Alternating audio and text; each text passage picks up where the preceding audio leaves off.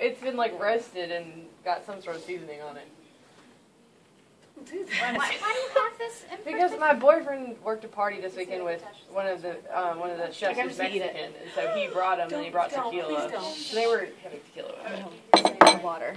Please don't do that. Please don't do I that. can't do it. do with it, him do saying it, that. do it. Oh my god, that's a bug. No. Oh my god. And that's for your last round of edits. You need to know they only get one. Oh, shut up! Why'd you say that? Oh my god. I- Dog.